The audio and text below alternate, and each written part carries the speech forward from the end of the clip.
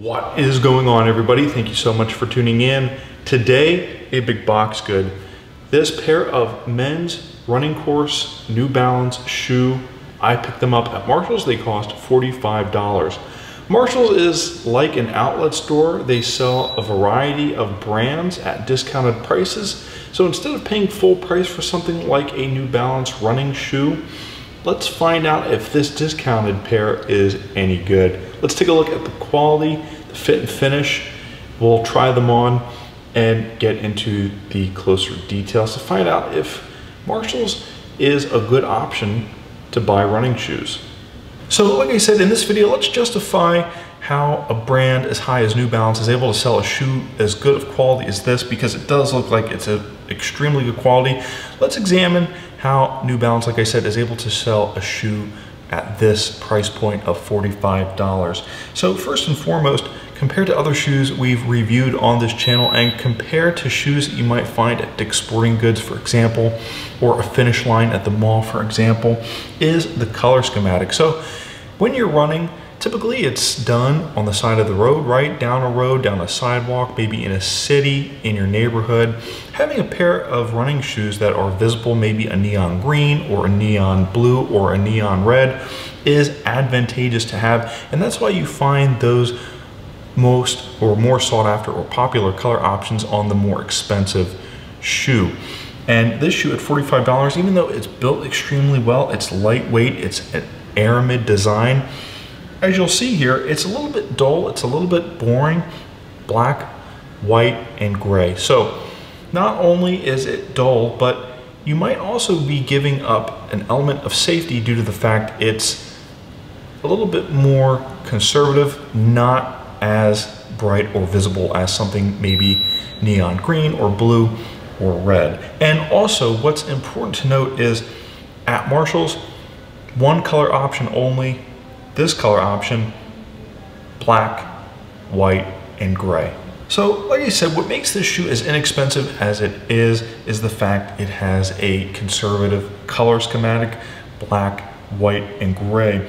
Otherwise, it's a pretty modern and capable or formidable running shoe, I think. And that is in large part due to the lightweight aramid design but also the rigidity here of the shoe itself. As you can see, not a whole lot of flex. So upon first impressions, upon first glance, what this shoe reminds me of is actually the Skechers Shape Up, which as you'll see on Skechers website here for $100, it's an expensive shoe, it's a premium shoe, has similar style points to that of our New Balance running shoe.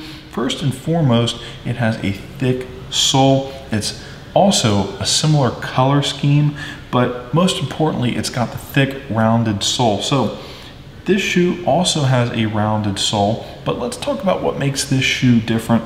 First and foremost, it's got the mesh upper, which the Skechers Shape Up does not have, which you can see is closed off. This is more for work, the Skechers Shape Up, and most importantly, the bottom of the Skechers Shape Up is different as well. It's got a non-slip surface, which this shoe does not have. So similar in look, but not similar in functionality. The Skechers Shape Up is probably heavier. This shoe is extremely light. You can see it's got a thin mesh upper, a couple differentiating factors, the mesh upper and the sole of the shoe. So even though this shoe is as inexpensive as it is, what's good to see is New Balance retains its focus on the runner.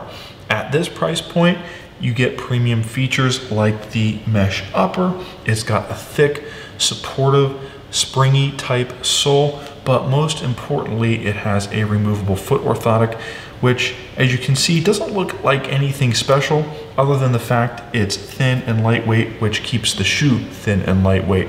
That being said, the fact that it's removable is good to see because if you need something more supportive, if you need something more custom, if you have a desired feel, or maybe if you have some kind of medical issue where you need a more supportive foot orthotic, but like this shoe for the way it fits or just like the price point of it, you can change the foot orthotic simply by taking this one out or maybe just cleaning the shoe, airing it out, keeping it dry and odor free makes maintaining it better, all thanks to its removable foot orthotic.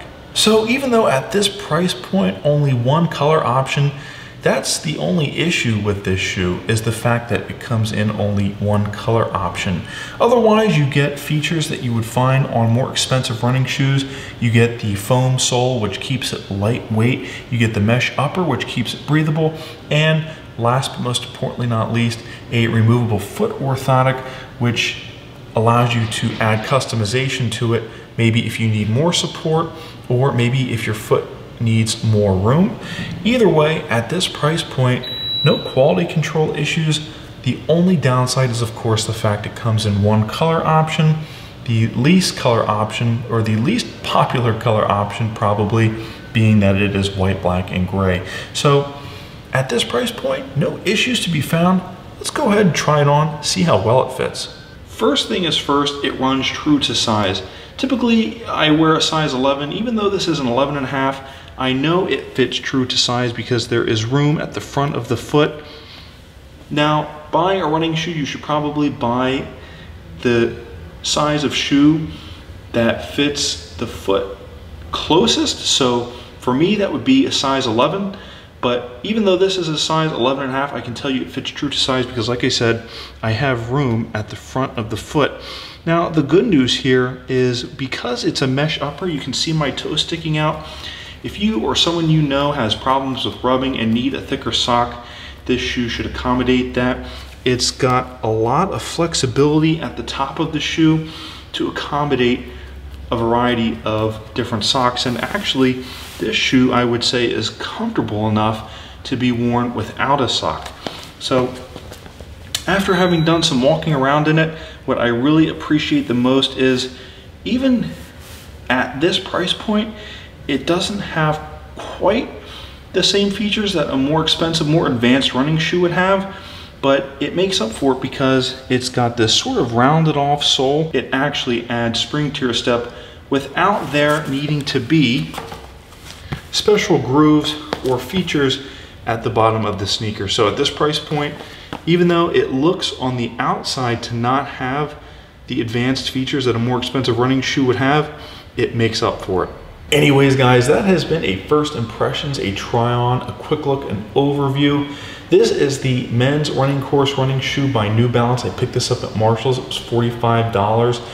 Had you bought something like this at New Balance, it probably would have cost more. But what was good to see here is even though it was marked down to as little as $45, there are absolutely zero quality control issues. The only take back with this shoe being the fact it comes in only one color option.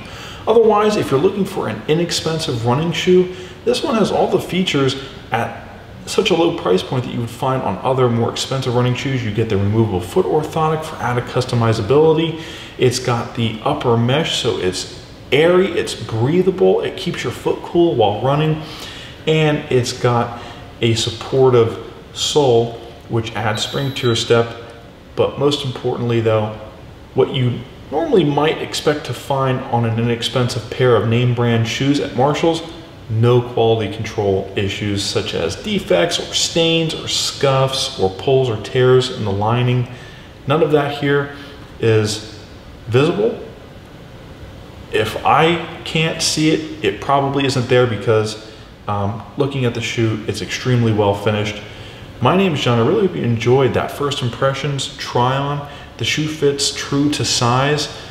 At Marshalls, it was $45. The only downside, of course, is finding shoes like this on Marshalls website can be difficult from time to time. But hey, just as an example of what you can find at Marshalls, this shoe I think is a perfect example of that. At $45, it's a good option.